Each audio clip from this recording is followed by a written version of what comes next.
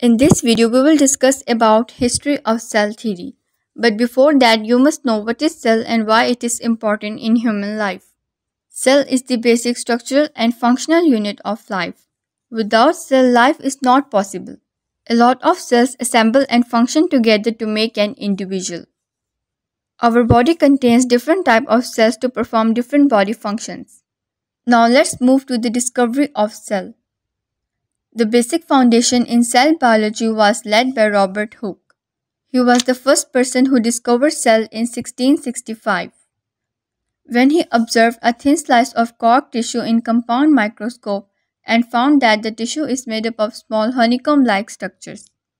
Robert Hooke named these honeycomb-like structures a cell. The name cell comes from the Latin word celluli, which means small room. After discovery of cell, Leeuwenhoek in 1676 discovered protozoa and bacteria to whom he called animalcules.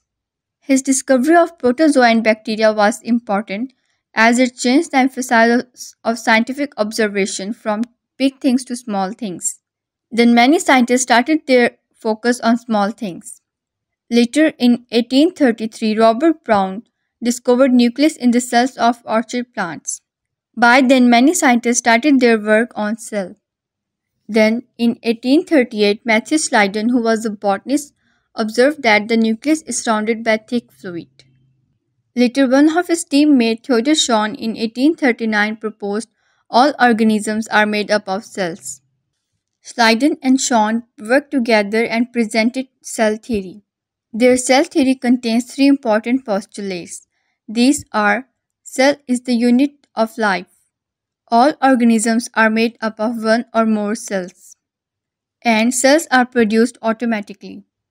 But later in 1855, Austrian biologist Rudolf Virchow observed the process of mitosis and declared that the third point of cell theory was wrong.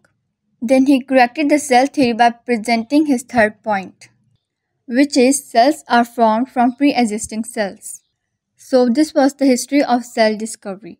If you like this video or want to learn more, please like, share and subscribe to my channel.